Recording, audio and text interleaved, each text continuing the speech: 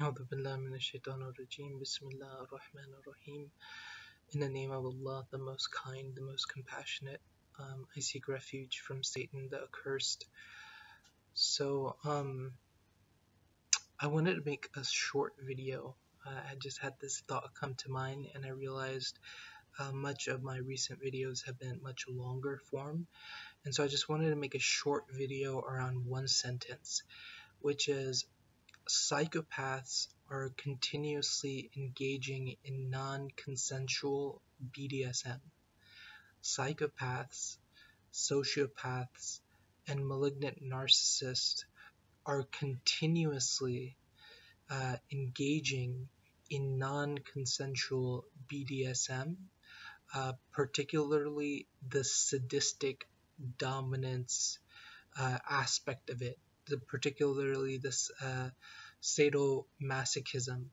And in fact, uh, psychopathic dominance hierarchy or absolute absolutist uh, crypto-fascist hierarchy in Eastern culture is in fact a hierarchy of sadomasochists where each person is both a sadist and a masochist except for the bottom of the rung who uh, if they consensually consent uh, to the system um, are pure masochists, right? And if they are the top of the system, then they are pure sadists um, who don't have to suffer any masochistic abuse. But everyone from the top of the tier uh, of the hierarchy to the bottom are both sad- sadomasochists, right? They, they're both sadists and they're masochists. They're masochists in relationship to their superiors, and they're uh, sadist in relationship to their inferiors.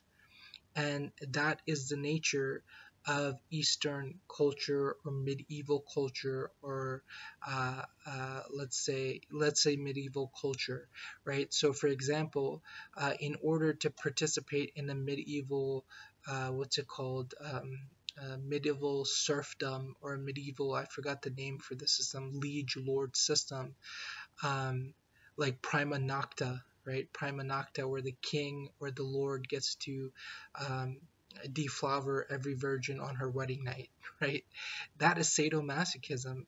Uh, to accept that type of tyrannical uh, order is you have to be a masochist if you're in the weaker position, and you have to be a sadist if you're in the dominant position, right?